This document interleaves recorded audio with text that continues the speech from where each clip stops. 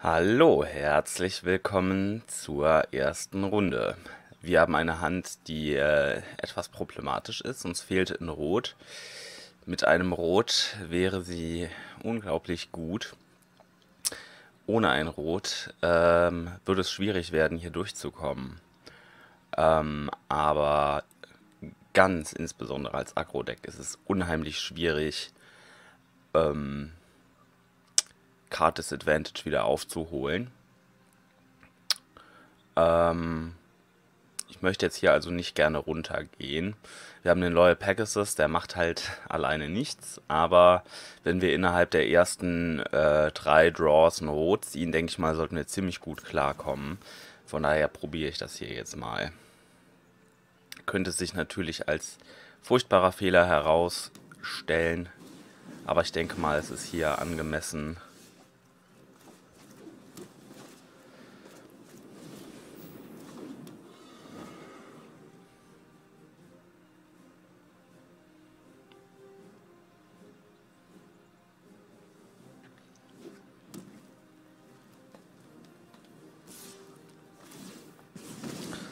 Gegner scheint ja selber aggressiv zu spielen mit einem ähm, mit einem One-Drop, aggressiven One-Drop, gegen den wir uns ja entschieden haben. Aber vielleicht merken wir ja auch, dass wir lieber den spielen sollten, als zum Beispiel ein...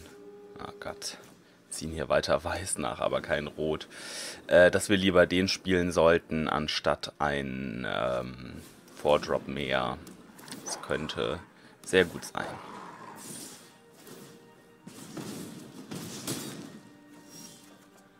In gewisser Weise natürlich tragisch hier ähm, durch Aggression besiegt zu werden, aber wie gesagt, wir wussten, was der das Risiko an dieser dabei ist, diese Hand zu halten. Das Blöde ist jetzt halt auch, ähm, wenn wir jetzt ein Rot nachziehen, dann können wir trotzdem immer nur ein Spell pro Runde spielen, obwohl wir theoretisch genug Mana haben.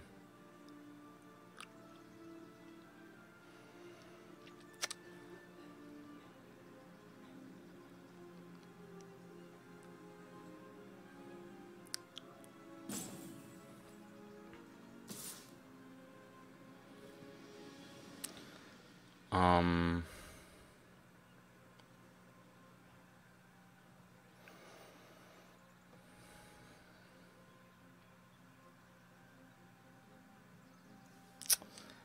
Ja, hm, hm. wollen wir hier blocken?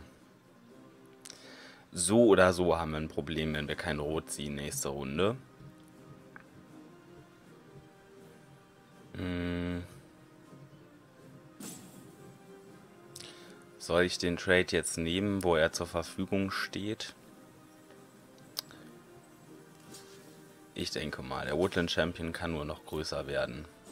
Fühlt sich nicht gut an da der Loyal Pegasus jetzt wieder alleine nicht besonders viel macht, aber... Ah. Ja, ja. Zwölf Karten ins Deck rein, kein Rot. Das ist bitter. Aber was willst du machen? Immerhin verbergen wir so Informationen vor dem Gegner, der nicht weiß, was wir spielen.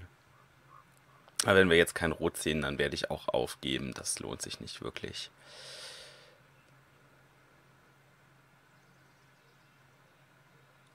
Wir hoffen nur, dass wir noch ein bisschen was vom Gegner sehen. Eine Voracious Hydra zum Beispiel. Aha. Okay, ähm... Wir sind tot durch den nächsten Angriff. Von daher brauchen wir jetzt hier nicht weiterzumachen. Naja, ich hätte vielleicht noch warten können, ob der Gegner vor dem Combat noch irgendwas ausspielt. Aber ja, wie gesagt, das war nix. Ähm...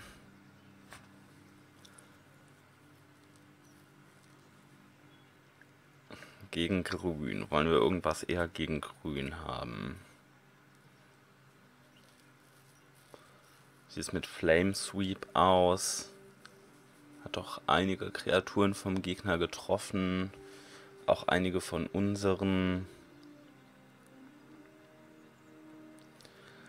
Hm. Anscheinend Berserker sah nicht so gut aus. Kann gut sein, dass wir gegen den Gegner auch blocken müssen. Da nehme ich mir dann lieber ein Morland Inquisitor. Wenn wir racen, ist dieser Scorch bitte auch gar nicht so schlecht. Ähm gesagt, Flame Sweep könnte sich als gut herausstellen, auch wenn er eben sehr viele von unseren eigenen Kreaturen trifft. Aber wenn man es richtig einsetzt und falls wir nochmal zurückgeraten, könnte der eben gut sein. Ähm, vielleicht einen Inspired Charge raus dafür, obwohl die auch im Race ziemlich gut sind. Aber da habe ich lieber so einen Flame Sweep in der Hinterhand. Act of Treason könnte gegen große grüne Kreaturen gut sein. Anstatt Flame Sweep mit gegen die kleineren Kreaturen, da wir ja eigentlich viele Möglichkeiten haben, mit den kleinen Kreaturen fertig zu werden. Vielleicht probiere ich das mal so.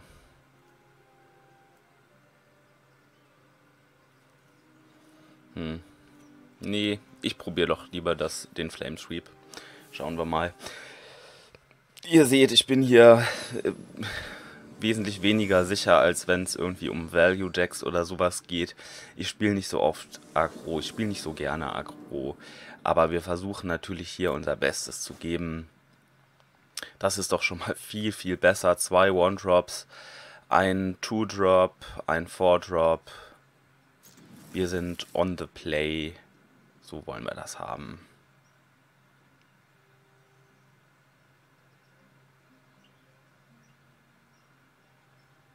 Und der Gegner geht ein paar Karten runter. Das ist unsere Chance, Leute. Wir hoffen natürlich trotzdem auf ein spannendes und gutes und strategisch anspruchsvolles Spiel und nicht, dass der Gegner äh, so oft einmalige nehmen muss, dass wir kein richtiges Spiel zustande bekommen.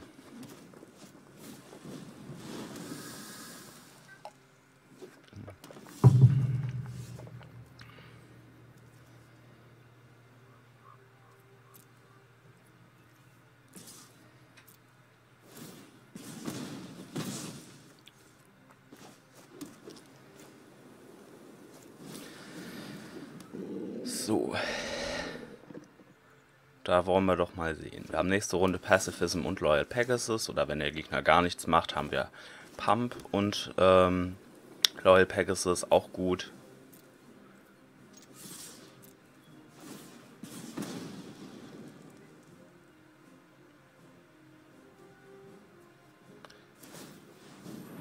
Bärchen. Kommt viel Schaden rein wie gesagt, gegen die erste Kreatur, die der Gegner spielt, ein Pacifism und das sollte dann schon fast reichen. Ein eigener Scorch Spitter. Ähm, das lohnt sich ja fast nicht. Ähm, da würde ich lieber angreifen. Scorch Spitter kann gegen Scorch Spitter traden. Obwohl wir haben so viel Removal zur Verfügung. Ich glaube, es ist richtig, hier reinzugehen.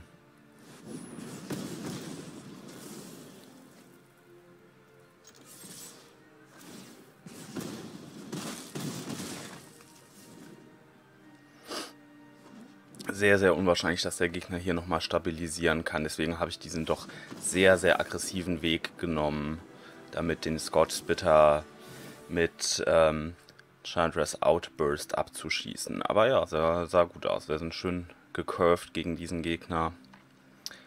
Ähm, Gibt es hier noch irgendwas, was ich ändern möchte? Nicht wirklich. Time Sweep bin ich mir wie gesagt nicht total sicher. Vielleicht würde ich lieber so einen billigen Trick haben. Ähm aber an sich äh, an sich alles in Ordnung. Bin mir halt wie gesagt nicht so ganz sicher, ob wir nicht zu viele Four Drops haben. Wir hoffen, dass wir nicht zu viele davon ziehen. Ähm, eventuell baue ich nach diesem Match nochmal das Deck ein bisschen um, dass ich vielleicht ein, zwei Four-Drops nochmal entferne, dafür was günstigeres reinnehme. Wir haben ja schon gesagt, so ein bisschen, äh, ja, die Kurve an der Stelle zu hoch. Das hier ist eine relativ schlechte Hand, aber ich werde sie behalten. Wir hoffen wirklich, dass wir überhaupt keine Länder mehr nachziehen. Und vor allem, dass wir einen 2 oder 3 Drop bekommen. Davon haben wir sehr, sehr viele. Es sollte also nicht ganz unwahrscheinlich sein, dass wir in Runde 2 oder 3 eine solche Karte ziehen.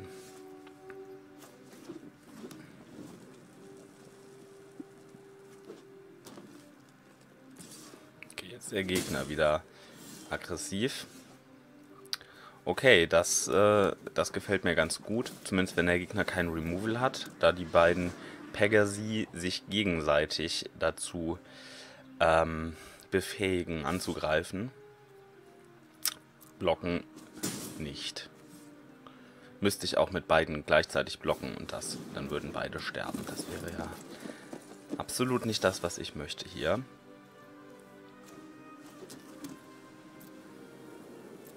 Ich möchte jetzt einfach racen und so schnell wie möglich so viel Schaden wie möglich machen.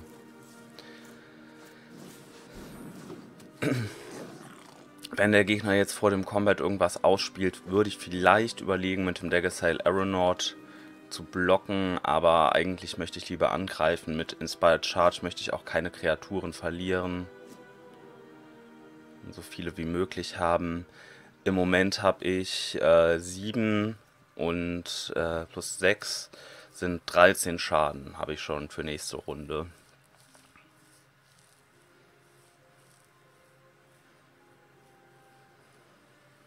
Und ja, unwahrscheinlich, dass der Gegner über solche Tools wie wir verfügt. Ähm, das Einzige, was mir halt Sorge macht, ist ähm, Removal.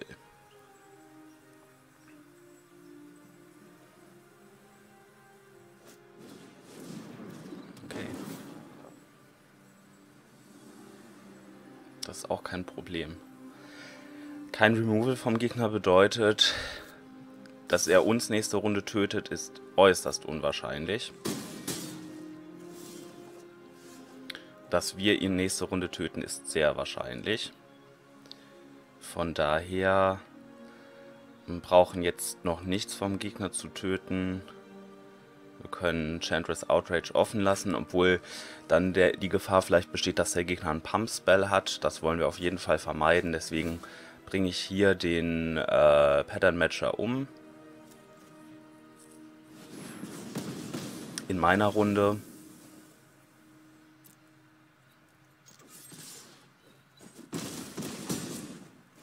Gegner ist auf 7.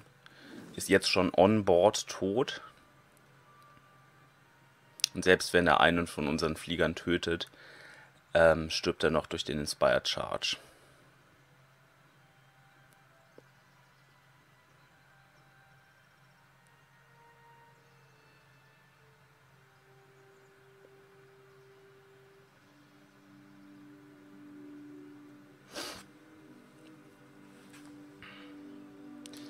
Elf Schaden zusammenbekommt, ist sehr, sehr unwahrscheinlich. Also nur zwei Removal, das wäre, das wäre das, was uns hier das Genick bricht.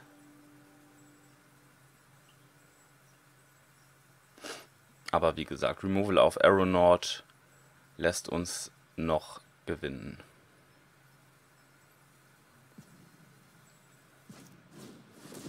Okay, das war's.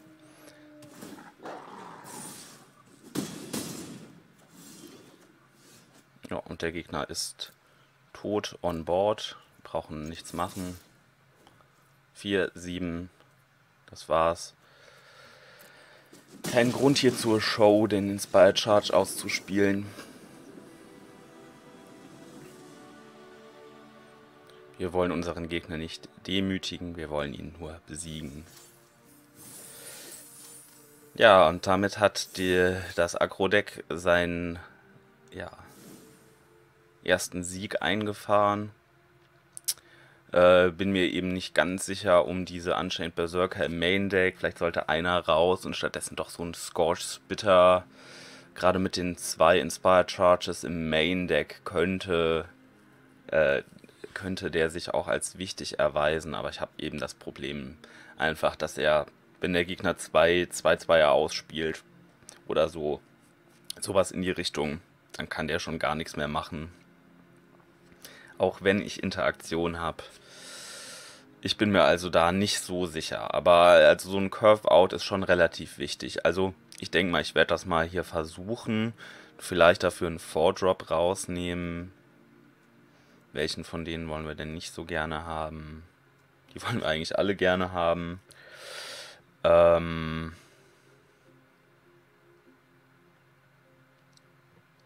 Wie viele Kreaturen haben wir hier? 20. Das ist dann eine von unseren schlechteren Kreaturen. Ace, Bird Grabber, Berserker. Ähm, ja, dann, dann nehmen wir mal einen Berserker raus, gucken mal, wie das so läuft, aber ja, wie gesagt, ist noch sehr explorativ, wie ihr merkt. Dann äh, probieren wir es mal und starten in die nächste Runde. Bis gleich. So, behalten wir diese Hand. Ihr dürft raten. Ich trinke in der Zeit einen Schluck Kaffee. Ah. Also gehen wir das nochmal durch. Uns fehlt wieder Rot. Das war ja letztes Mal auf jeden Fall ein riesiges Problem. Wir haben viermal Weiß, was schon reicht, um den Master Splicer auszuspielen. Aber dass wir hier aggressiv rauskommen, das funktioniert nur, wenn wir innerhalb der ersten beiden Draws rot ziehen. Da wir ja on the draw sind, kann das schon sein. Also ist die Wahrscheinlichkeit auf jeden Fall höher. Also on the play würde ich sagen, diese Hand wird auf jeden Fall zurückgeschickt. Da wir on the draw sind, eventuell behalten wir sie. Hm, schwierig, schwierig, schwierig. Ich gehe, ich gehe so ungern eine Karte, eine Karte runter, aber wenn wir es ganz genau betrachten, dann sind wir schon fast eine Karte runter, weil wir vier Planes haben. Unsere Karten kosten höchstens vier Mana und wir müssen eh in Rot ziehen, damit wir unser Deck spielen können. Auf der anderen Seite haben wir hier den Destructive Digger, der eben äh, Länder nochmal in Spells verwandeln kann. Von daher würde ich sagen, ach komm, probieren wir es einfach nochmal. Ein kleines bisschen Glück gehört, wie gesagt, auch zu Magic dazu. Oder eben Pech. Je nachdem, auf welcher Seite es landet. Nein. Oh, ich sag nochmal Hallo. Nicht vergessen, immer höflich sein. Rot, rot, rot. Na gut, Fencing Ace. Äh, gibt Schlimmeres. Ich spiele das hier aus, obwohl der Gegner die Wahl hat. Wenn er seine Runde ausgeben möchte, um unser Fencing Ace zu töten, dann bin ich damit einverstanden. Noch ein Destructive Digger. Uh. Naja, wir wissen auf jeden Fall, was wir später mit diesen Planes anstellen. Cerulean Drake. Der ist natürlich gut gegen mich, ja. Tatsache. Aber nicht gegen den Master Splicer.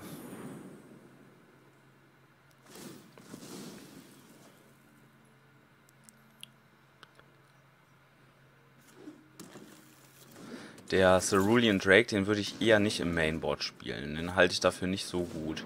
Also wenn man ganz viele Payoffs hat für ähm, Flieger eventuell, aber halt einfach nur für die Chance, dass der Gegner rot spielt, würde ich das jetzt nicht unbedingt tun. Ähm, ja, uns fehlt weiterhin rot. Wir sind mal wieder auf der Pechseite angekommen, aber hey, kein Problem. Die Planes hier spielen wir aus. Gegner spielt kein Schwarz, also wird uns wohl nichts discarden lassen. Und ähm, ähm, wir haben ja die Destructive Digger. Aber der Gegner geht natürlich hier richtig ab mit seinem Risen Reef. Wir ziehen weiter nichts, was wir spielen können hey, es ist mal wieder, es ist mal wieder richtig Pech. Also kann man nichts machen. Wie gesagt, 13 Karten drin.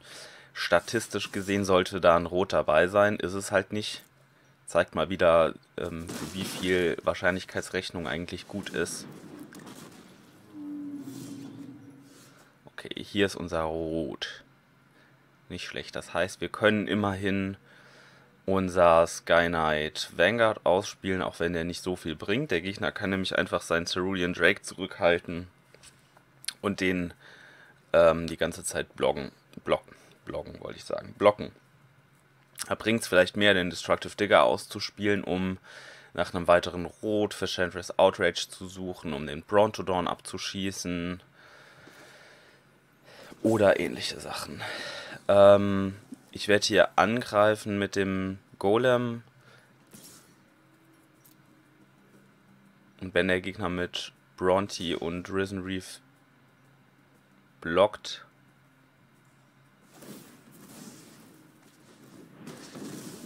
Ach so. Natürlich, das war ja ein Artefakt. Konnte der Gegner einfach so töten.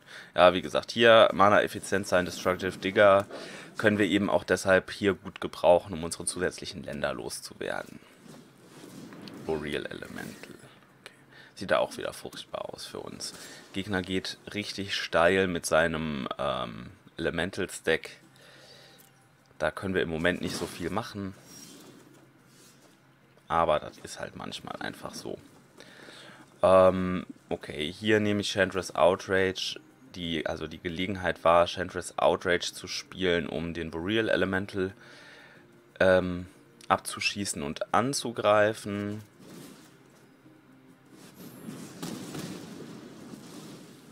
Vielleicht oder sogar wahrscheinlich sollten wir besser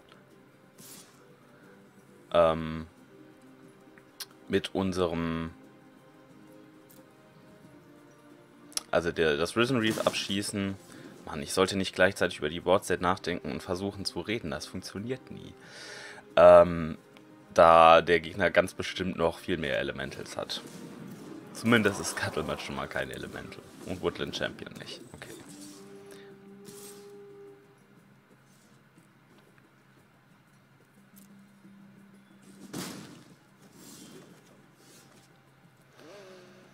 Okay, was können wir hier machen? Um, wir haben sieben Mana zur Verfügung. Wir können Loyal Pegasus ausspielen, Sky Knight Vanguard und dann. Dann war's. Angriff mit Master Splicer ist nicht möglich.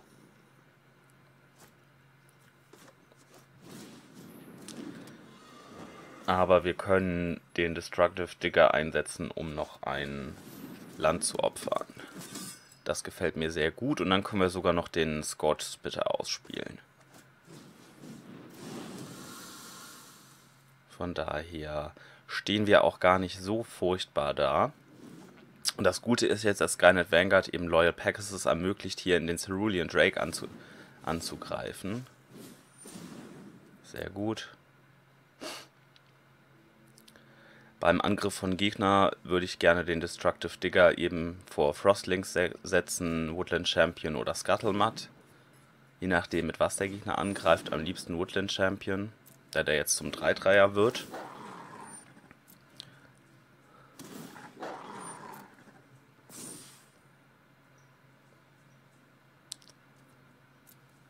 Und vielleicht sollten wir jetzt langsam anfangen zu rechnen.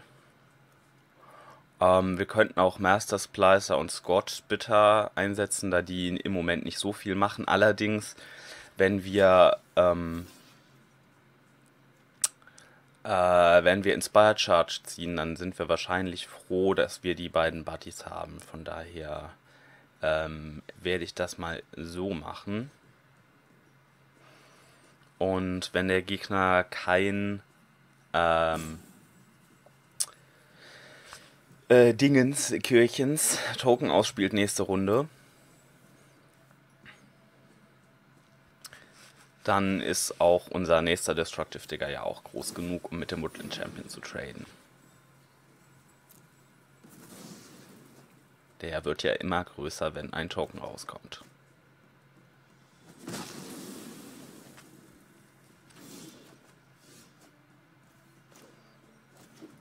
Super. Angriffe haben wir hier nur in der Luft.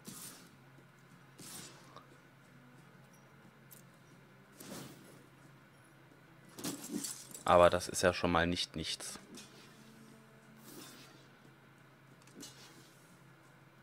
Okay. Ja. Ach, du je. Also ich habe mal wieder Scuttlemutt vergessen. Der tappt ja nicht nur für Mana, sondern auch für, äh, ähm, für ähm, um, um, um die äh, eine Kreatur in eine entsprechende Farbe zu verwandeln. Das ist natürlich sehr gut mit diesem Cerulean Drake zusammen, aber ja, da bin ich voll reingelaufen. Schon wieder habe ich das übersehen. Das ist wirklich blöde. Da habe ich jetzt hier einfach eine Kreatur weggeworfen.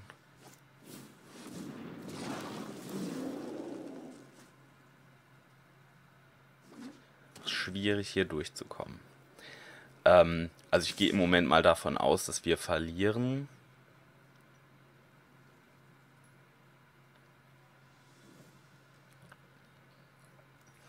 Guck mir schon mal an, was der Gegner hier hat, was wir uns vorbereiten sollten. Vor allem sollten wir uns darauf vorbereiten, wieder so einen Risen Reef zu treffen. Äh, ich glaube, ohne Risen Reef haben wir ganz gute Chance gegen diesen Gegner. Mit Risen Reef wird das äußerst schwierig. Ähm, ja, hier werde ich nicht blocken. Ich könnte mit Steadfast Century und dann noch einen Counter verteilen auf eine Kreatur, aber das ermöglicht mir auch keinen weiteren Angriff. Gegner ist hier einfach sehr, sehr weit vorne, was die, ähm, was die äh, Dingenskirchens angeht die Ressourcen.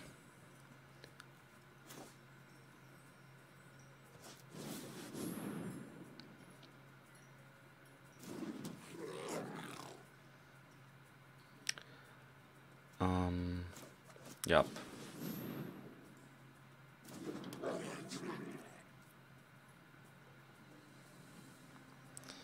Das bringt alles nicht viel. Wir haben hier einen Boardstall. Und äh, da gewinnt so ein Value-Deck natürlich locker. Wobei wir, wie gesagt, auch noch die Digger haben. Wir haben auch Möglichkeiten, hier Value zu bekommen.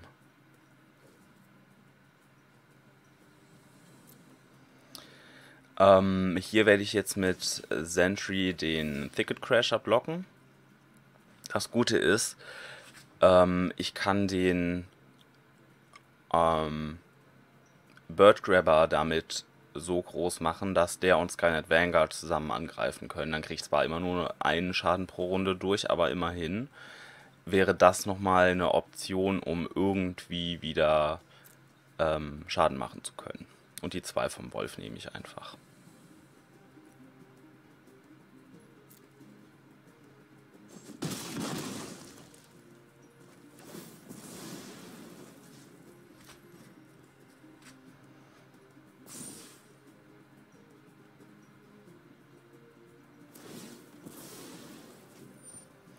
Jupp. Schöne Combo. Gegner kriegt seinen Thicket Crasher wieder raus. Und geht weiter ab mit Risen Reef. Risen Reef ist einfach der Wahnsinn. Greenwood Sentinel nicht.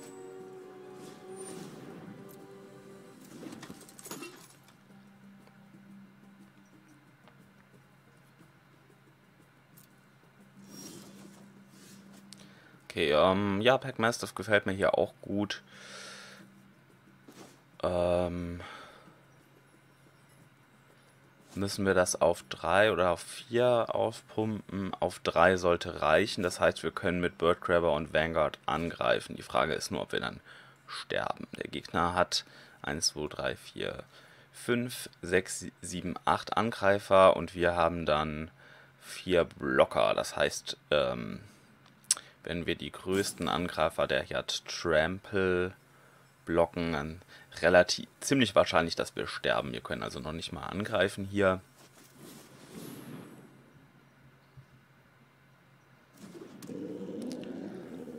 Ähm, und das heißt, wir gehen hier weiter.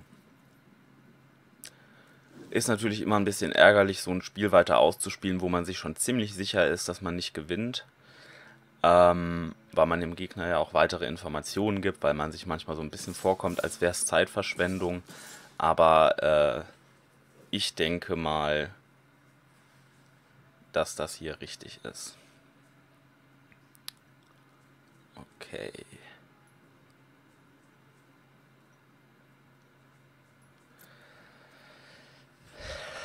Dieser Angriff vom Gegner führt mich dazu, hier zu blocken. Dann gehen zwei Schaden über, sind wir auf drei. Ähm, mit dem... Na, ich werde hier traden müssen, ha? Kann zum Beispiel Scorch Spitter auf Greenwood Sentinel, Master Splicer auf Greenwood Sentinel. Pack Mastiff kann mit dem Woodland Champion traden. Und dann, ja, noch ein Digger gegen den Fuchs.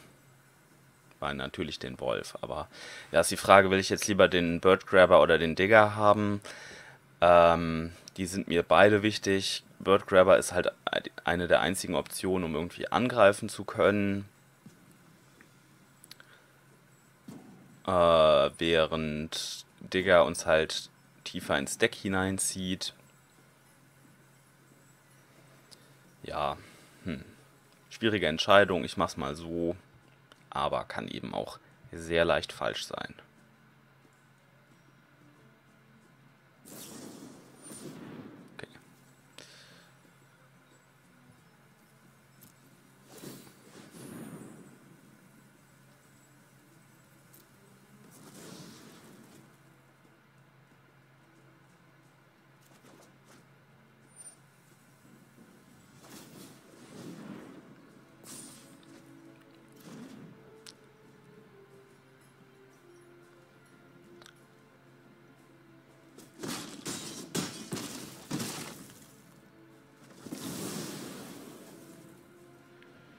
Jo, es sieht ja sehr schlecht aus, aber wie gesagt, das ist dann das, was unterm Strich bei rumkommt, wenn man sich halt anschaut, was die, der Gegner alles für, ähm, für Value macht. Mit seinem Risen Reef. Ist die Frage, zeigen wir dem jetzt noch Ember Hauler und Berserker? Ähm, das Überleben ermöglichen, ermöglichen sie uns schon. Und ich sehe es jetzt gar nicht als nullprozentige Chance an, dass wir hier gewinnen. Also, natürlich sehr, sehr, sehr unwahrscheinlich. Aber wir überleben den nächsten Angriff.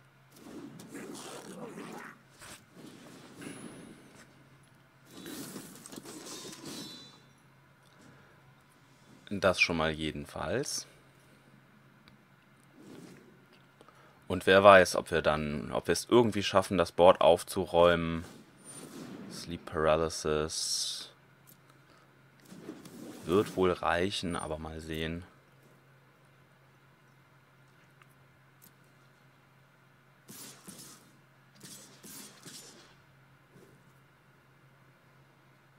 Hm, hm, hm. Also, ähm, hilft ja nichts. Jetzt mal durchgucken. Ähm, was wären unsere Traumblocks? Ähm, hier den einen vielleicht zu nehmen hier zu blocken. Boah, der wird so oder so. Vielleicht hier zu blocken. Hier zu blocken. Zwei kommen durch. Ähm, fünf kommen durch. Thicket Crasher abschießen, aber der macht seinen Schaden dann gleichzeitig mit dem Unchained Berserker. Das wird so also nichts. Ähm, ja, hier sind wir nicht mehr in der Lage zu überleben. Also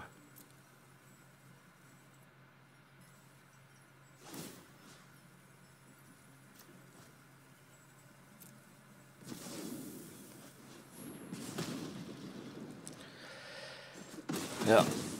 Ohne Trample wären wir noch gerade so am Leben. Könnten mit dem richtigen Topdeck auch überleben, aber ja. Das war nix. So, was wollen wir haben? Äh, den einzigen Flieger, den wir gesehen haben, der hatte Protection from Red. Das hier bringt uns also nichts. Ähm, ich denke mal, Druck, Druck, Druck hilft uns. Ähm, Flame Sweep könnte sich bezahlt machen. Wir haben viele Kreaturen gesehen, die davon getroffen werden. Ähm, so viele große Kreaturen haben wir nicht gesehen vom Gegner. Wo sich vielleicht so ein ähm, Tectonic Rift bezahlbar machen würde. Bezahlt machen würde. Äh, Scotch Spitter sah jetzt nicht Premium aus, aber okay. Ähm, sehe hier nicht so recht, was ich unbedingt anders haben möchte. Der Berserker scheint mir halt nicht so viel zu machen. Aber wie gesagt, wenn wir hier aggressiv rauskommen, dann sieht das Ganze eben auch nochmal ganz anders aus. Druck, Druck, Druck ist unser Programm. Und wenn wir zurückgeraten, dann können wir hier eventuell mit Flame Sweep nachholen. Und ich finde, wir haben nochmal gesehen, normalerweise wäre man als Agro-Deck wahrscheinlich ähm, in der Position, in der wir waren, noch viel weiter oder hätte noch viel schneller verloren. Aber diese Destructive Digger, dass wir vier Stück davon haben, die machen echt Arbeit in so einem Agro-Deck. Wenn man da flooded, dann ist das schon ziemlich gut. Mmh. Goblin Ringleader gibt uns halt ein bisschen Card Advantage, was mir gut gefällt. Scott bitte um richtig Druck zu machen. Ah, weiß nicht so richtig, was hier raus soll. Huh? Dann gehe ich mal mit meinem... Oh, die Zeit ist abgelaufen. Schade. Etwas knapp. Weiß nicht, ob Flamesweep jetzt drin ist oder nicht, weil wir nicht mehr Submit selber gedrückt haben. Vielleicht haben wir jetzt 41 Karten im Deck. Das wird sich zeigen. Ähm, das ist doch mal eine Hand, mit der man ein bisschen Druck machen kann. Hoffen wir, dass es reicht.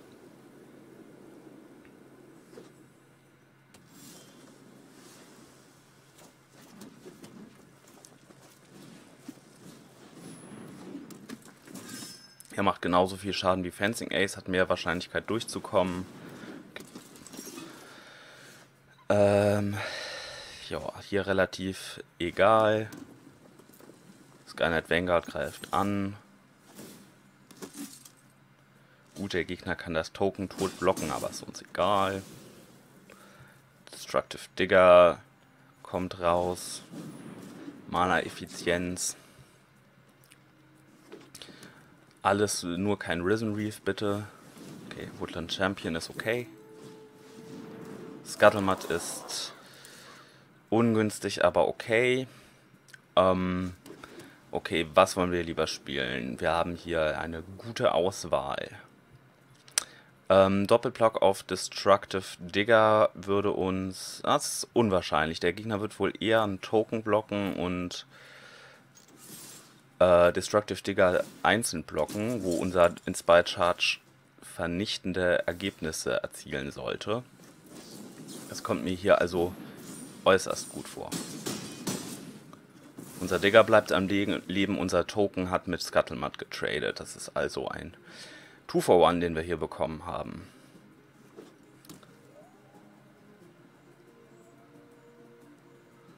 Hoffen wir nur, dass das jetzt ähm, sozusagen nicht die der Inspired Charge war, den wir gebraucht haben, um den letzten Schaden durchzubringen, da der Gegner hier immer noch weiter am Stabilisieren ist. Ein Outrage ist schon mal sehr gut, was das angeht. Ähm, hier kommen wir auf jeden Fall am besten mit unserem Hasty Boy, während der Gegner ausgetappt ist und auch keine Kreatur draußen hat. Oh, toll. Hat nicht getroffen.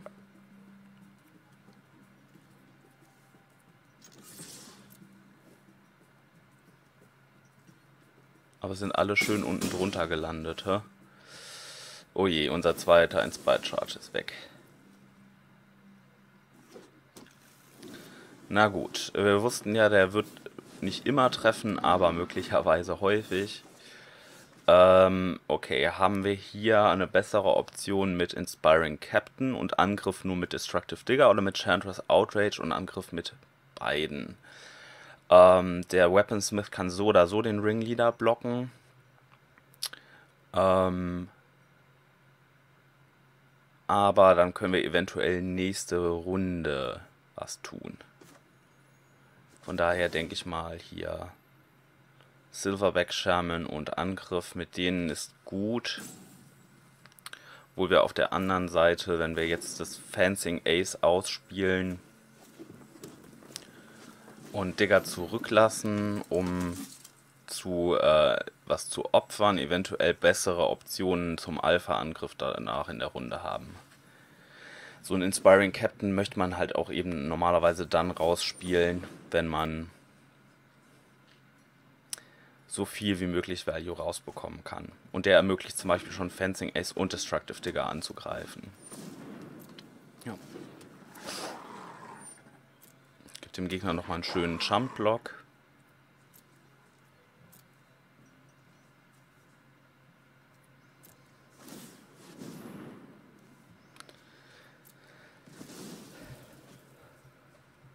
Und hier zeigt der Destructive Digger schon, was er wert ist. Hm. Okay, hier können wir in jedem Fall sowas wie Pegasus, Outrage, Angriff. Ähm,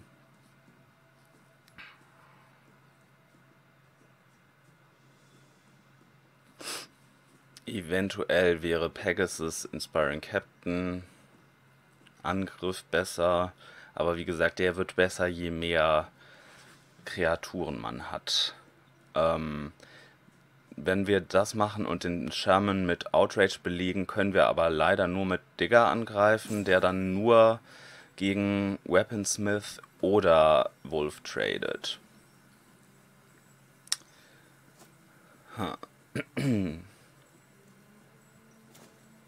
Aber hier hm, wir können auch in der Runde vom Gegner den Sherman töten und dann mit Inspiring Captain mit allen angreifen. Vielleicht wäre das eine gute Option.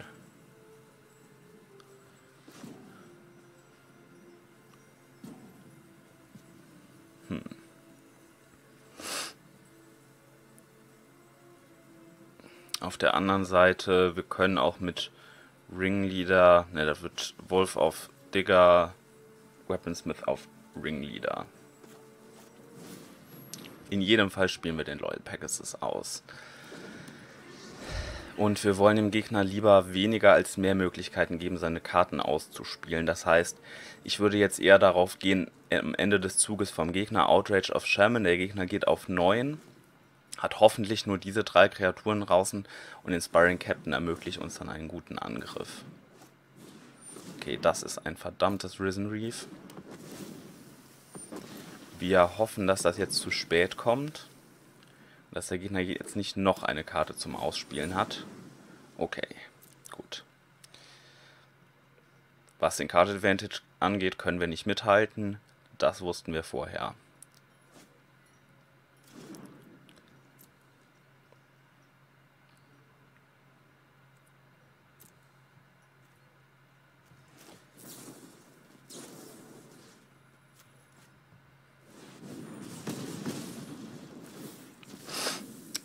Der Gegner ist jetzt ausgetappt, kann mit seinen Karten nichts anfangen. Wir können den Captain rausholen und Angriff mit allen angreifen. Ich denke mal, das ist jetzt mehr geboten als nächste Runde. Wir wissen nicht, ob wir nochmal einen angemessenen Angriff bekommen, weil der Gegner so viele Karten nachgezogen hat und so viel Mana hat, dass es sehr gut sein kann, dass eine äh, Kreatur ausspielt, die so groß ist, dass wir nicht mehr profitabel angreifen können. Und so sehe ich den Gegner eher dazu gezwungen, ein paar ungünstige ähm, Blocks zu machen hier, um nicht zu viel Schaden zu nehmen.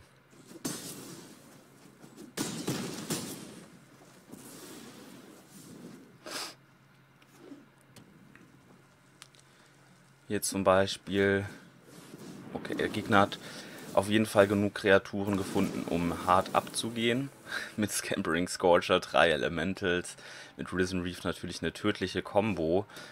Ähm, wir werden jetzt irgendwie versuchen müssen, diesen Schaden durchzubekommen, aber das ist natürlich jetzt furchtbar, dass der Gegner hier Leben zurückbekommen kann. Okay. Uff.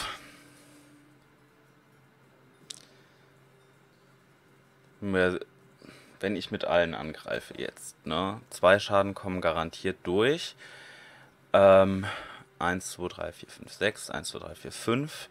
Das heißt, der Gegner könnte eventuell Overgrowth Elemental zurückhalten und hier nur blocken. Ich glaube aber, er ist dann zumindest zu einigen ungünstigen Blocks gezwungen. Und äh, ja, ich bin mir nicht hundertprozentig sicher, ob das hier jetzt der richtige All-In-Angriff ist, nur weil dieser blöde Overgrowth Elemental Leben bekommt. Das ist jetzt wirklich. Also da hat der Gegner jetzt einfach optimal sozusagen nachgezogen.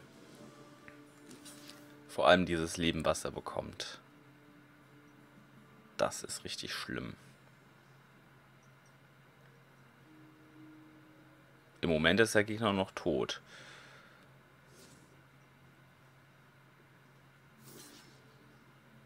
Ja. Genau.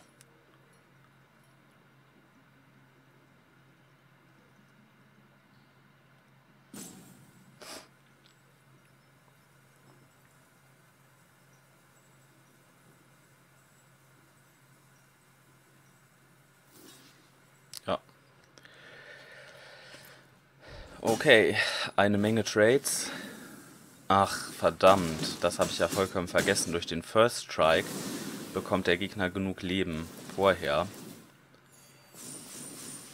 Na, wow. Tödlich. Hier werde ich den Mountain ausspielen, weil wir eventuell das Pack Mastiff so weit aufpumpen müssen. Ähm, aber sehr unwahrscheinlich, dass wir hier nochmal durchkommen. Wäre dieser verdammte Overgrowth Elemental mit seinem Life-Gain nicht gewesen, wäre das Ganze zu gewinnen gewesen. Eventuell haben wir eben auch zu, ja, unbedacht gespielt.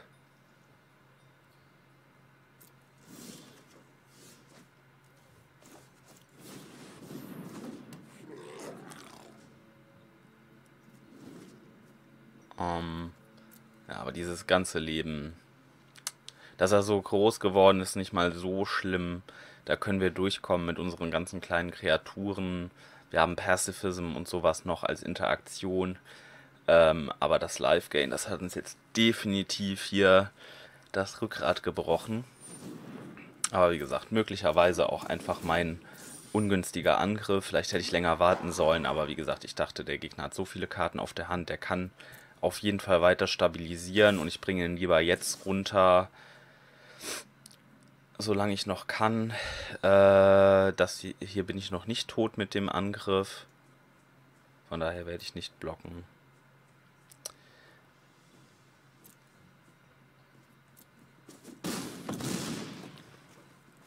Mit der winzigen Mini-Chance, dass wir hier durchkommen. So nicht. Ähm,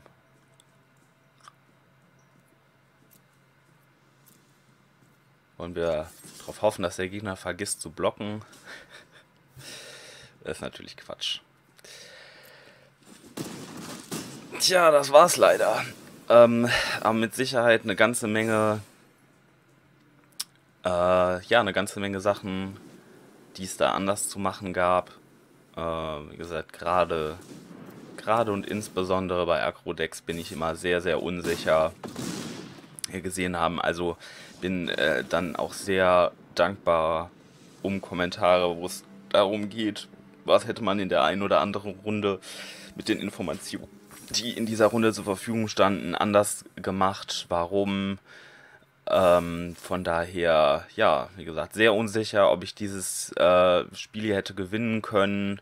Ich meine, dass dieser Overgrowth-Element gerade ganz, ganz furchtbar ungünstig kam äh, und wir ansonsten wahrscheinlich gewonnen hätten. Jetzt das zweite Spiel beim ersten Spiel auch unsicher. Muss ich eventuell auch selber einfach nochmal angucken, die Aufnahme.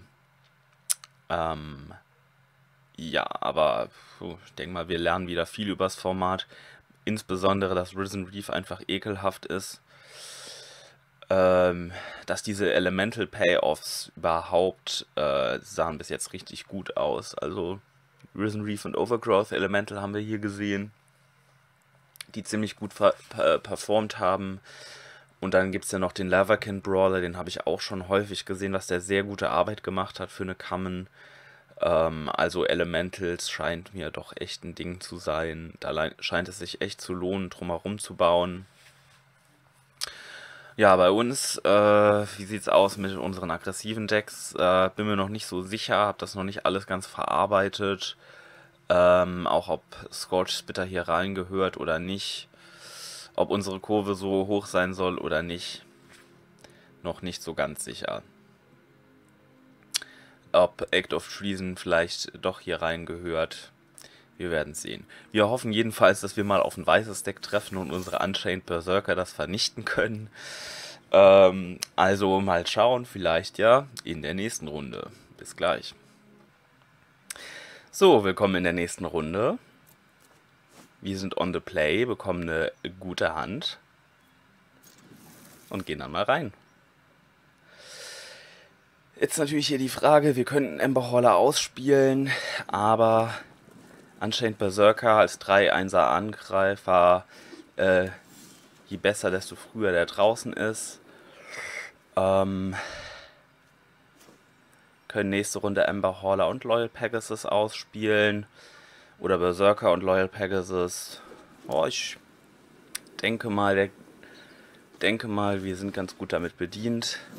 Ich habe jetzt gerade noch, während ich die Karte am Ausspielen war, gedacht, hm, vielleicht doch besser den Emberholler zuerst, weil der Gegner ja jetzt so dazu angeregt wird, eine nicht weiße Karte auszuspielen, ähm, da der ja eben Protection hat. Aber wie wir sehen, der Gegner ist auf weiß, bleibt auf weiß sitzen. Das ist ganz hervorragend für uns. Und hier werde ich tatsächlich lieber den Bird Grabber ausspielen. Der kann dann nämlich sich schön an den Pegasus dranhängen und äh, weiter gut angreifen.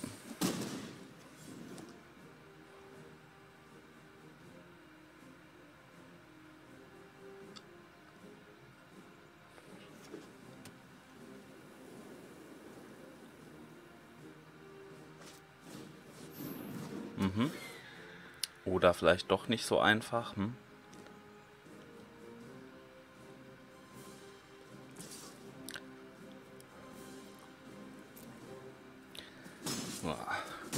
ausgerechnet Griffin Sentinel uns hier so ein großes Problem macht. Mm. Ähm, müssten auch Ember Hauler und eine weitere Kreatur aufwenden, um den loszuwerden on board. Schade, der hält echt diese beiden Kreaturen komplett auf. Das ist ja dämlich. Ähm, lieber Ringleader der halt ja einfach geblockt wird vom Sentinel oder lieber Destructive Digger und ähm, der, der halt auch angreifen kann, angreifen und blocken kann hier in der Konstellation. Ähm, wenn wir noch ein Land ziehen, können wir allerdings Ember Hauler und Digger nächste Runde ausspielen. Also eventuell ist es hier besser, Mana effektiv zu sein und der Ringleader kann eben auch das Fencing Ace blocken. Von daher habe ich auch nichts dagegen, den hier auszuspielen. Bisschen Card Advantage. Und immerhin, unser Unchained Berserker kann weiter angreifen. Schöne runde Sache. Der Gazelle Aeronaut auch kann ebenso in den Griffin Sentinel angreifen. Wunderbar.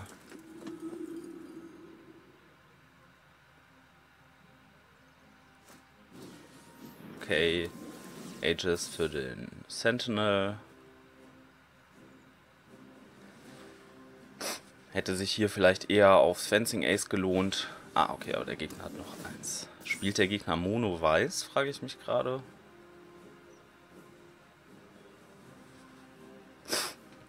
Auf jeden Fall wird er hier versuchen zu racen.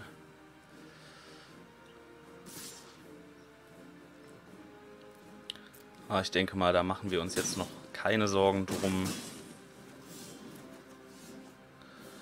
sondern gucken eher, wie wir hier gucken, eher, wie wir hier vernünftig angreifen können. Der Berserker hat ja sowieso Protection, der kann immer angreifen und blocken, so viel er möchte.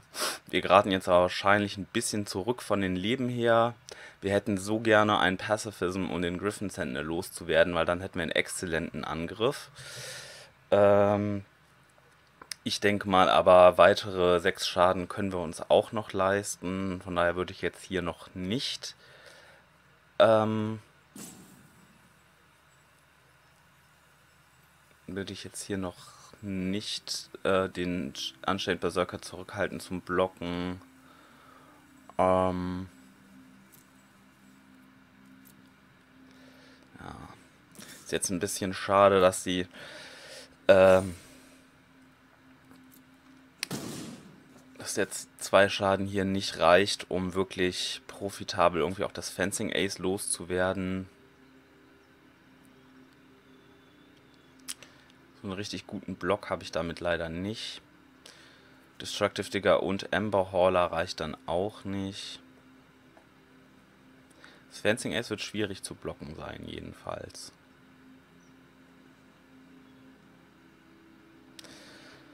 Ähm, können wir dem Gegner, der macht zwei, also Doppelblock mit den beiden in der Luft auf den Sentinel und dann mit Ember Hauler abschließen, bringt ja auch mal gar nichts, leider. Ja, Toughness ist leider ein bisschen hoch. Hm, hm, hm, hm. Spielen wir hier auf ähm, Pacifism ist die Frage. Ich denke mal ja.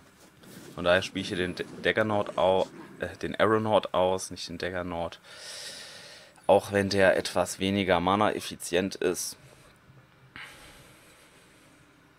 Immerhin hält er auch den äh, Chaplin da vor, von ab anzugreifen. Gegner spielt wirklich Mono-Weiß. Ist ja eigentlich das, was wir uns gewünscht haben. Schade, dass wir jetzt hier irgendwie zurückliegen gegen die Weenies mit Auras vom Gegner.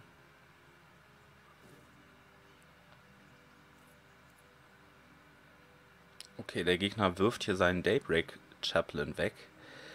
Das kann ich nicht empfehlen. Mm, ansonsten haben wir hier keinen sinnvollen Block. Das möchten wir halt auch noch nicht machen. Sechs Schaden nehmen ist hier kein Problem für uns. Und wie gesagt, dass der Gegner hier seinen Daybreak Chaplain für ein Leben wegwirft, das kommt uns doch sehr entgegen. Hm, okay, ein weiteres Rot. Hilft uns jetzt nicht unbedingt weiter, aber ist in Ordnung. Der Berserker muss jetzt zurückbleiben, um das Fencing Ace zu blocken. Und den Griffin Sentinel können wir immer noch nicht wirklich profitabel blocken. Ähm aber irgendwie geht das schon. Zum Beispiel mit Pegasus und Aeronaut den Sentinel blocken und dann den Ember Holler opfern, um den abzuschießen, haben dann immer noch den Bird Grabber, um den Dawning Angel zu blocken. Also unsere Blocks sehen jedenfalls gut aus. Unser Board ist viel weiter, also nicht unwahrscheinlich, dass wir hier dass wir hier noch gewinnen.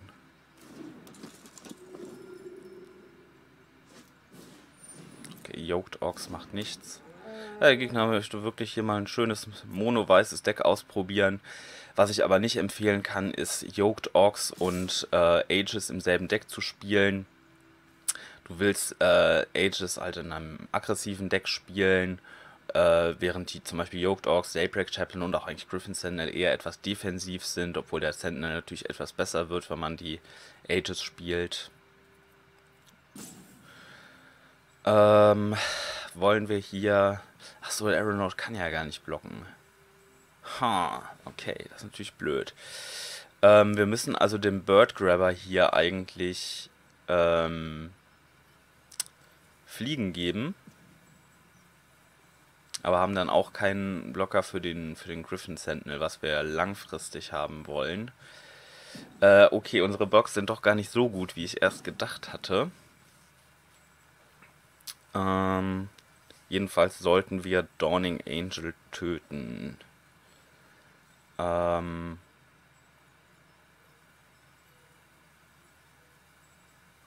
ja. Ungünstig, ungünstig. Das habe ich nicht, das habe ich jedenfalls nicht ganz clever gemacht. Aber okay.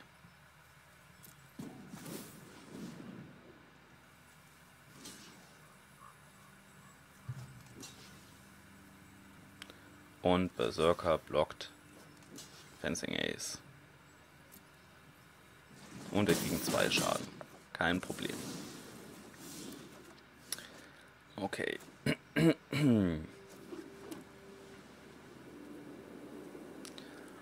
ähm, ja, jetzt haben wir nur ein Problem gegen den Sentinel weiterhin. Den Destructive Digger sollten wir am Boden aber nicht zum Blocken brauchen. Weswegen wir hier durchaus den jetzt schon mal einsetzen können.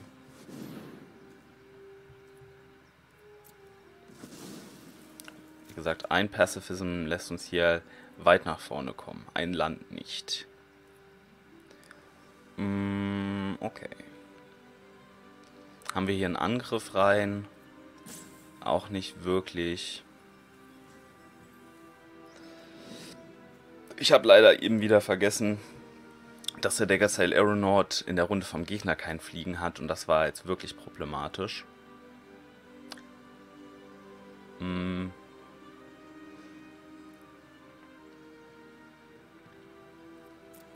Ja, wir haben noch einige gute Draws, die uns aus dieser Situation rausbringen, aber das war jedenfalls nicht optimal gespielt von mir. Wie es ja immer wieder vorkommt.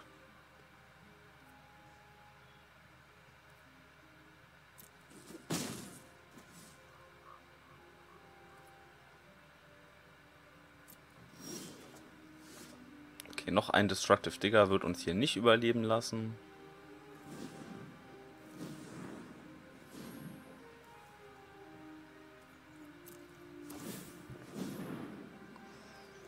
Ich habe jetzt hier auch, ähm, was ich definitiv hätte machen sollen, gar nicht geguckt, ob ich vielleicht hätte einen tödlichen Angriff gehabt. Ich bin mir relativ sicher, dass nicht, aber es sei nur erwähnt, dass das jedenfalls eigentlich geboten ist. Okay, ähm, ja, hier haben wir verloren, es sei denn, der Gegner merkt nicht, dass er, ähm, dass er mit dem Griffin Sentinel einen tödlichen Angriff hat. Das würde mich jetzt aber sehr wundern. Wir lassen einfach mal das Mana offen und geben weiter zurück an den Gegner. Aber ja, da habe ich auf jeden Fall etwas verpasst.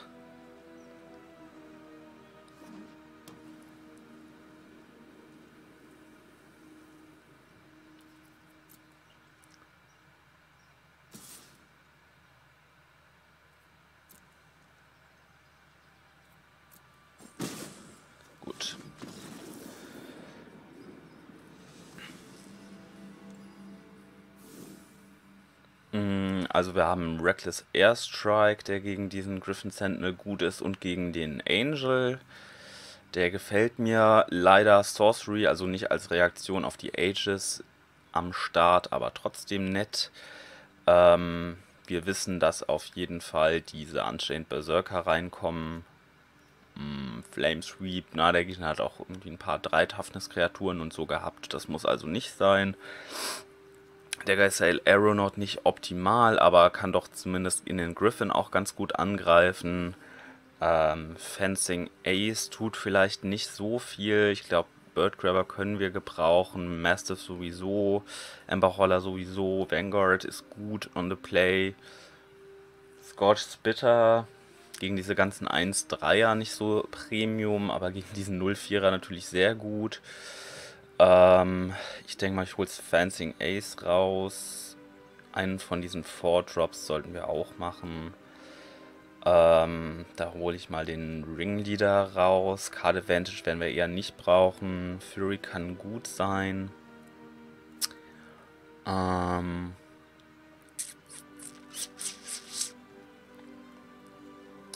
ist es der Scorch Spitter? Wahrscheinlich schon. Okay, Sideboard-Tech. Wollen wir mal hoffen, dass es reicht. Mit einem guten Draw sollten wir den Gegner schlagen. Unsere, ähm, also seine Karten haben sich jetzt hier sehr gut aufgestellt gegen die Karten, die wir gezogen haben.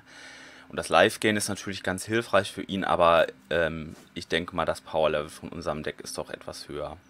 Die Hand können wir leider nicht behalten. Die Hand können wir auf jeden Fall behalten. Haha, herrlich. Unchained Berserker und Loyal das super Combo gegen unseren Gegner. Hm, möchte ich hier lieber den Ember Hauler, den Destructive Digger. Der Digger sah aus, als könnte er ganz gut angreifen in die Kreaturen vom Gegner rein. Und wir haben noch nicht das Doppelrot für den Ember Hauler.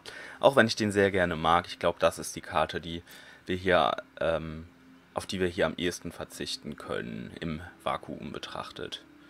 Wie gesagt, gegen die drei Toughness-Kreaturen vom Gegner macht das auch nicht viel versuchen den Gegner hier einfach mit unserem Pegasi Berserker Stuff zu überrennen.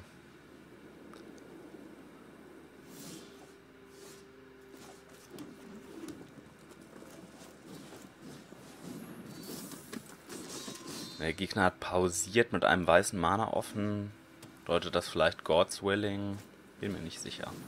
Daybreak Chaplain jedenfalls macht, macht nichts gegen uns.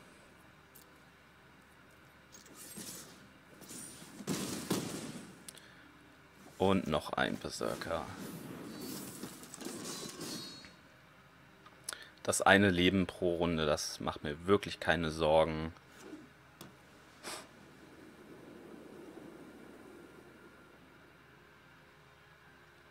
Und äh, diese garantierten 6 Schaden pro Runde gegen den mono-weißen Gegner, das sollte wahrscheinlich schon reichen. Und auch diese zwei Leben pro Runde, die bringen auch nichts. Die holt der Loyal Pegasus wieder rein.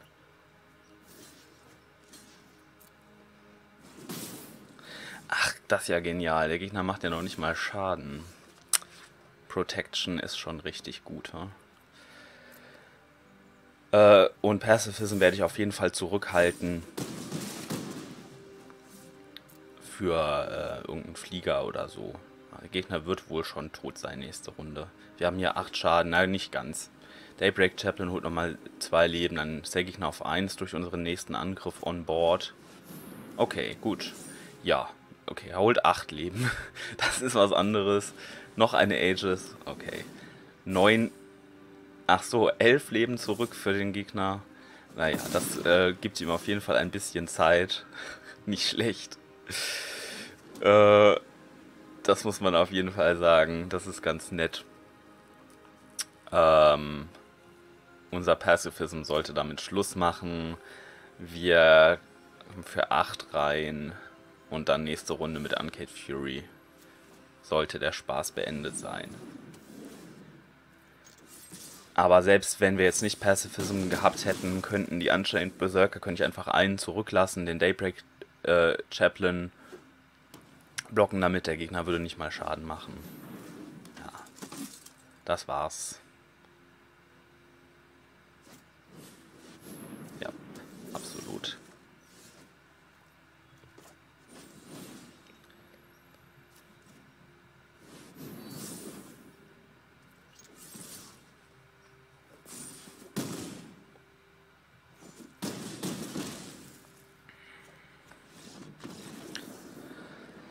Ja, wow. Also der Gegner spielt sehr, sehr viele Auren. Haben wir gerade noch mal gesehen. Hm. Was ist denn da gut? Ähm, eventuell so ein Act of Treason auch. Aber das war jetzt nur, weil der Gegner so eine riesige Kreatur hatte, dass mir das sinnvoll vorkommt. Sonst sollte das häufig nicht so sein. Wir haben nicht keinen weißen ähm, Aura-Removal ja, ich denke mal, wir können das so lassen. Reckless Airstrike. Ja, wir haben jetzt in diesem Spiel keine Kreaturen gesehen, gegen die er sinnvoll war. Es ist halt echt blöd, dann da eine, ähm, eine tote Karte zu haben.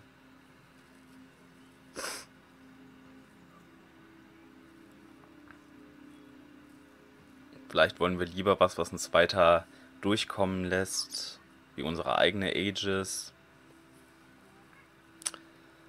Oder noch ein Angreifer. Oder so ein Act of Treason.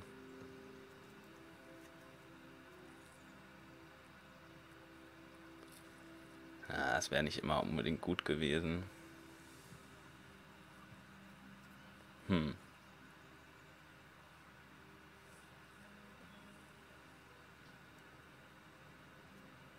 Ja, ich lasse den Airstrike drin. Der lohnt sich schon. Also ist sehr, sehr mana-effizient gegen die Flieger vom Gegner. Das, was mir halt so ein bisschen Sorge bereitet, ist, dass der Gegner die Kreatur ausspielt und in derselben Runde noch eine Aura drauflegt. Der scheint ja echt ein Deck voller Auren zu haben. Aber das ist eben auch sehr gefährlich, wie wir sehen. Da muss man sehr all-in gehen und auf Kreaturen und dann mache ich einen Pacifism drauf. Oder habe einen von den Berserkern zurück, um die zu blocken und dann bringt das überhaupt nichts.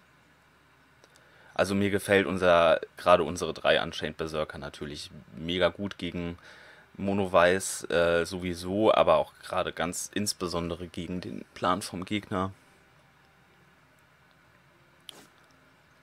Ähm, ja, okay.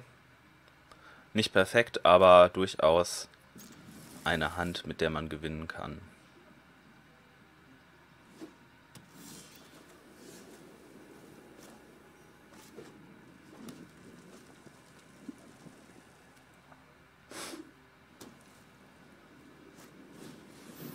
Okay.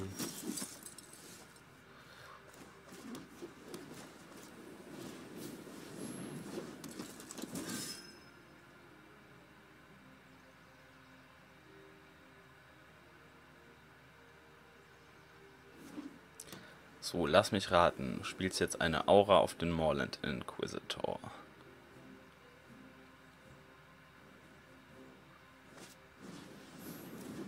Potsblitz.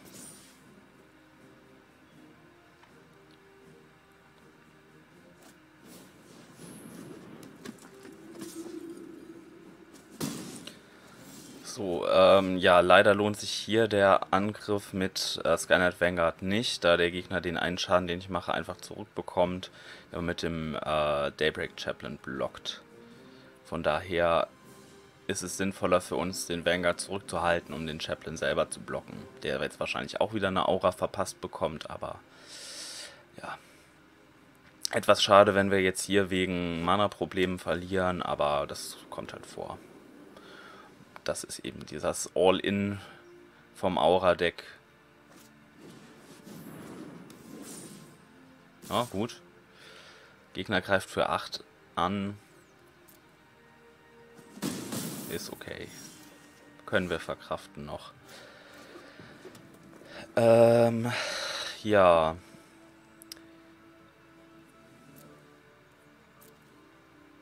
Tot blocken können wir den nicht, egal was wir für eine Kreatur ausspielen.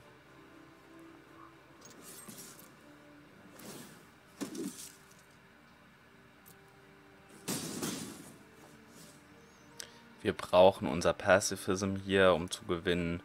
Frage ist jetzt, ähm, blocke ich nächste Runde oder nicht? Ich denke mal eher nicht, aber kann halt auch gut sein, dass der Gegner jetzt noch so eine Aegis aus spielt und wir sowieso nicht blocken können und sterben. Aber so ist das nun mal.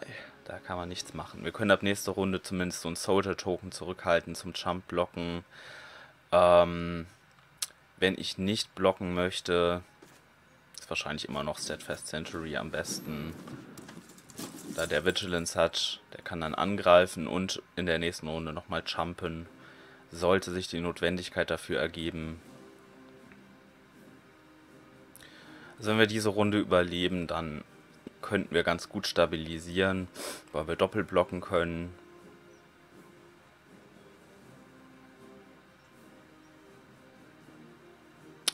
Aber wie gesagt, eine Aegis beendet das Ganze.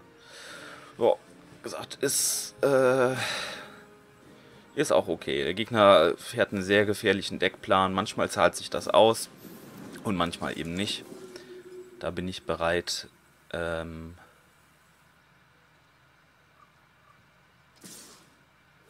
das anzunehmen.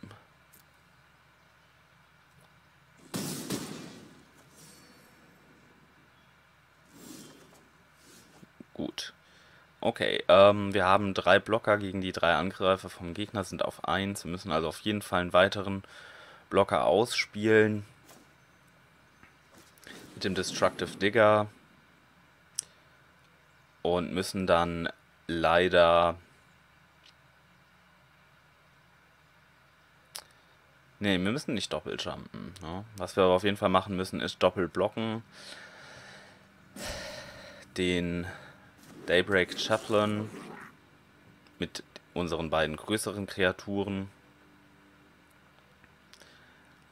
Und ähm, dann kann Skynet Vanguard den blocken und Soldier Token den Inquisitor. Und dann ist der Gegner zumindest schon mal hier diesen diesen riesigen Übeltäter los. Das ist okay. Müssen wir nochmal Jump blocken. Das ist eben so. Doppeljumpen ist natürlich furchtbar, aber der Gegner verliert eben auch Karten dabei. Anders lässt sich diese Situation hier nicht bewältigen.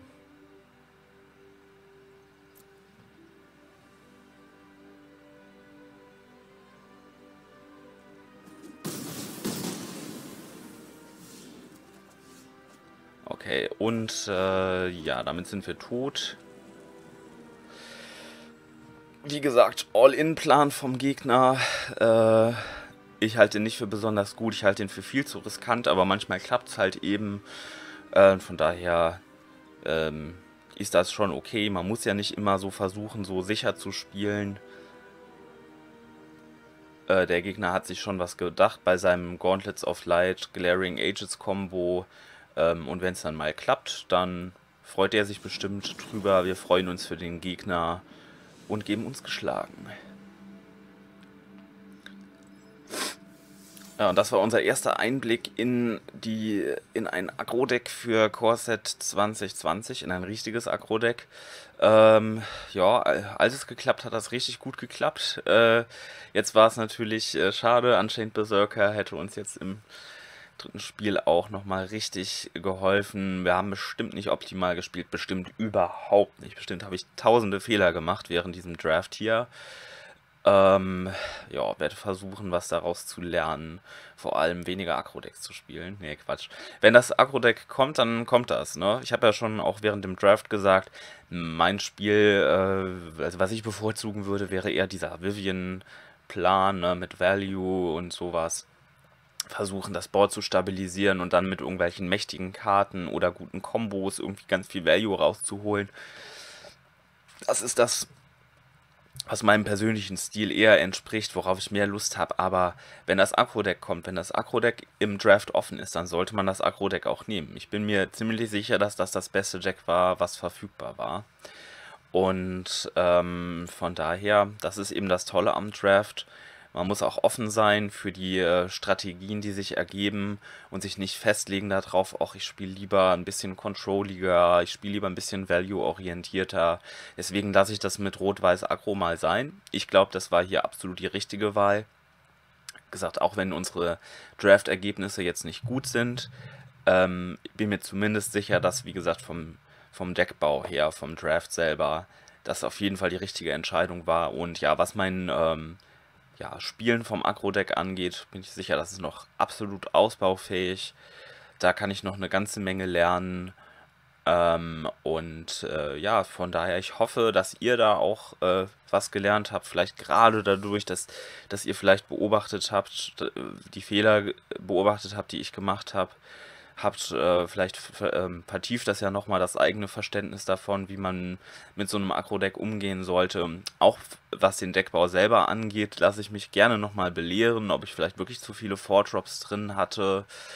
Ähm, klar, wenn ich äh, die Kurve hätte ein bisschen umverteilen können, wenn ich da die Wahl gehabt hätte, hätte ich es vermutlich getan. Äh, Im Sinne von, wenn ich mehr Three-Drops zur Verfügung gehabt hätte aus dem Draft selber, dann äh, hätte ich das ein bisschen anders gestaltet. Ähm, aber ja, wie gesagt, bin da auch sehr gespannt, wie gesagt, um Tipps gerade, was diesen aktuellen Draft angeht, weil, ja, da bin ich mir bei anderen Decks äh, wesentlich sicherer. Hier sind es jetzt neue Karten dazu, eine Strategie, die ich nicht häufig drafte. Also bin mal gespannt darum, um eben Tipps, Kommentare und hoffe, dass ihr eine Menge gelernt habt ähm, nochmal dadurch und äh, dass ihr vielleicht auch ein bisschen Spaß hattet. Ich jedenfalls schon. Ähm, bin auch, wenn ich jetzt nochmal so ein Resümee ziehe von den ersten drei Drafts, die ich hier gemacht habe, dann muss ich sagen, ich habe eine Menge verschiedener Deckstrategien gesehen, auch innerhalb derselben Farben. Ähm, und bin daher auch ganz positiv eingestimmt, was das Format angeht.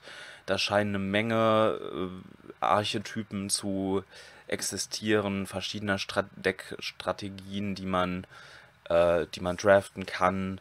Sind nicht alle unbedingt das, was ich äh, als gut empfinde oder empfehlen würde. Aber es ist halt auch äh, eben spannend zu sehen, dass es da so eine große Bandbreite gibt. Äh, besonders in einem Core-Set, was ja traditionellerweise eher ein bisschen ja, einfacher gehalten war. Aber bis jetzt sieht das echt recht spannend aus und äh, ich habe äh, sehr viel Spaß da dran und Lust darauf, weiterhin zu draften. Von daher sehen wir uns beim nächsten Draft. Bis dann.